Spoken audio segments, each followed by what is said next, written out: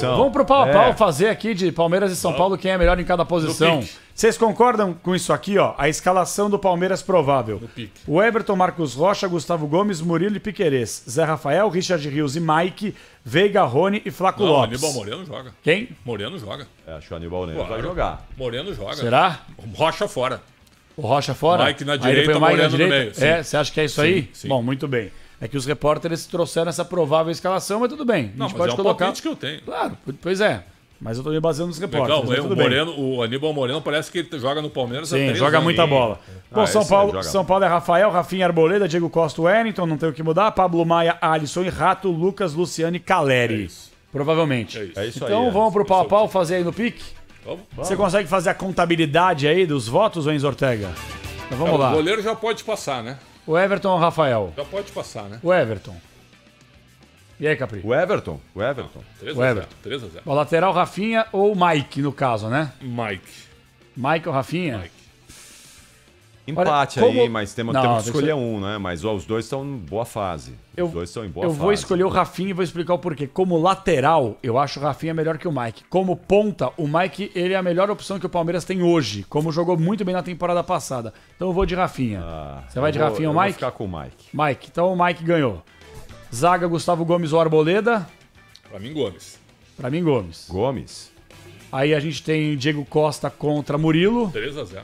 Murilo, pra mim. Murilo, Murilo. Lateral esquerdo, o Wellington Piqueires Eu esquece. gosto do Wellington, mas acho que o Piqueires Ah, é um você vota no. Wellington? Não, eu gosto do Ah, tá. Wellington, mas acho que o Piqueires é um dos melhores da América do Sul. Perfeito. Piqueires, claro. No meio campo tem Zé Rafael contra Pablo Maia ou Aníbal Moreno contra Pablo Maia. Qualquer um dos dois eu votaria Não, no, eu, não no aí, Palmeirense. aí nós temos que botar um, um Ó, só. Põe o Maia. Aníbal Moreno então, o primeiro volante. Moreno o Zé Rafael contra joga de Maia. segundo. Isso. Eu vou ficar com o Moreno.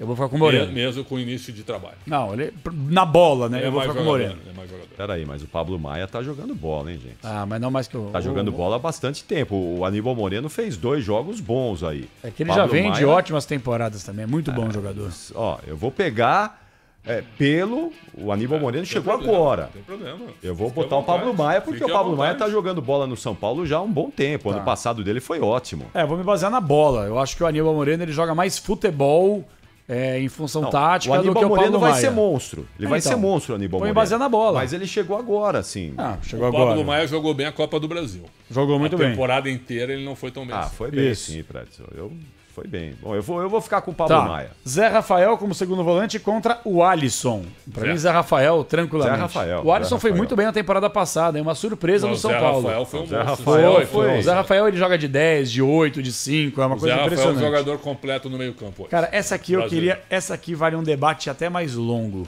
Lucas ou Rafael Veiga? Eu acho que vale o título da comparação, Não, por mais que não sejam é Lucas, características. não é o sempre- Rato. não é a posição, Não, é a Rato, posição. Não é o Rato, Vai querer fazer o rato com o Veiga? É, mas aí fica sem graça, né? Não, na posição. Mas é pra né? dar graça, né, irmão? Senão Não, fica sem graça. pra dar graça. Ah, então tá bom, eu acho que o Veiga é, joga mais que o- Não, o- nessa o- posição aí, o, O Veiga Lucas- joga mais que o Lucas. pra velho. mim é superior aos três de ataque do, do Palmeiras. Quais são os Ah, três sim. de ataque do Palmeiras aí? Você pode colocar o Rony, Flaco Não, Lopes mas com, com e o o Veiga. com o time base que tu tens aí na mão. O time básico que eu tenho aqui é Flaco Lopes, Rony e Veiga. Não, o. o, não, o, o Flaco é Lopes, é, né? Flaco Lopes é na- no ataque. É que tu com tem o Rony. Rios. Sim, é isso Não, que ele falou. Rios No aí, ataque, né? é. Eu tirei o Rios pra colocar o Moreno. Tá. Moreno, Aníbal Zé Moreno, Rafael, Zé Rafael, Veiga. Veiga. Rony, Flaco Lopes e Rony, mais Flaco um. Lopes e tem mais um. Então aí, quem é o mais um? E aí... Breno Lopes? Não, né? Não. Não, aí na, na prova da escalação tá o Mike de ponta que o Marcos Rocha Ah, joga de lateral. Uhum. tirou, tirou lá, você tirou o Mar- Marcos Tirei. Rocha, né? Não, é, mas seria aí o Marcos é, Rocha. Ah, tirei é. porque falaram pra tirar. Seria o Marcos Rocha, mas tem que colocar um aí agora, meu. Tem que pôr um, um atacante aí Eu no acho que time ele, do Palmeiras. é é mais provável ele ir com o Rios do que com com o Marcos Rocha, eu acho. Moreno, Rios e Rafael Veiga. Eu Estão acho. dizendo que o São Paulo vai jogar com três zagueiros também, não é? Ah, é? uma possibilidade do Carpini Franco? escalar três zagueiros. é. Alan Franco, Diego Costa e Arboleda? Mas não fez isso ainda. É, eu acho que ele é um vai risco. botar o mesmo time que enfrentou o Eu Corinthians. também acho. Mesmo time. Eu também acho. Bom, Wellington Rato, Rafael Veiga, esquece, né, gente? Não dá nem pra brincar. Sim. Não dá nem pra brincar. Aí o Lucas, pra e é o- Rony. o, o Lucas é o voto do São Paulo. pra mim. Sim, volta do São Lucas, Paulo, Lucas. claro. Aí o centroavante Caleri- Caleri, Caleri. esquece. Caleri. Caleri, Flaco Lopes, Té- Caleri. Técnico Abel Ferreira. Bom, vai, Abel, Abel. Ferreira. Não, mas ok. faltou um aí que é o Luciano com É, quem? faltou o Luciano contra qualquer um do Não, Palmeiras então põe aí. o Marcos Rocha. Marcos Rocha, Luciano. Luciano. Luciano. Luciano. Nossa, foi um amasso do Palmeiras, hein? 8 a 3 Foi um amasso, foi Mas isso? o técnico Oito a nove Mais o a quatro. técnico 9x3. 8 a Nossa, 3 ou mãe. 7 a 4 9x3. Não, 9x3, mais o técnico. Não, 8x3, né, Enzo? 9x3. É 8x3 Ah, com o com, técnico. o técnico 9x3. 9x3 Sim. com o treinador. Sim. Isso não quer dizer nada também, né, gente? Pra Nada. deixar bem claro. Mas Nada. é o aspecto individual de cada jogador. Só que a gente sabe que o coletivo do Palmeiras, pelo menos pra mim, é um coletivo mais forte que o coletivo do São Paulo. Significa que o Palmeiras vai ganhar? Não. Mas eu acho que o Palmeiras ele tem um pequeno favoritismo É nesse isso. confronto. Eu acho, eu, eu acho que sempre a gente põe numa decisão. Eu acho que é é 50-50. Não, eu não É, acho. é, tu, eu tá- acho. tu tem essa tese do 50-50. Sim, sim. Eu, eu acho o seguinte. Pra mim, o São Paulo começou a temporada né, mais ligado do que o Palmeiras. Mas eu não posso, eu não posso descartar o que o Palmeiras tem de força coletiva há três É. anos. Claro. O Palmeiras estava morto no brasileiro. Quando ele viu uma brechinha, o que, que aconteceu? Os jogadores vitoriosos, né? Com uma mentalidade absurda. Os caras se reuniram e o seguinte, aí ó, estão deixando a gente ganhar, a gente Exato. sonhar e ganhar o campeonato.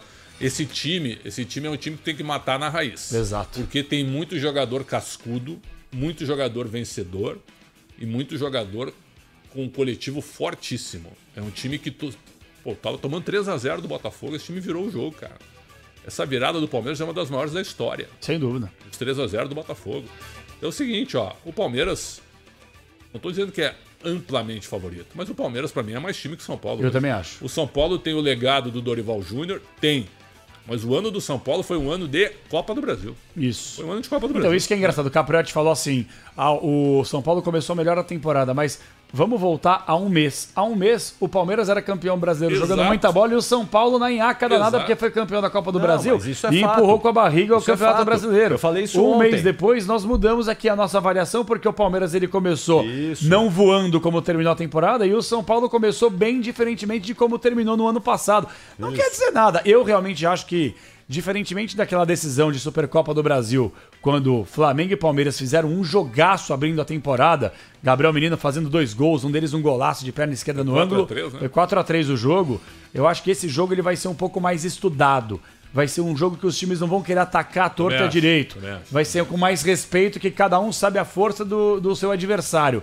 Então tô botando muita fé que esse jogo vai ser ou 0 a 0 ou 1 a 1 e vamos para as penalidades. E o detalhe, não tem em nenhuma das metas um grande pegador de pênaltis. Então é loteria, meu irmão. Quem bater melhor é caixa.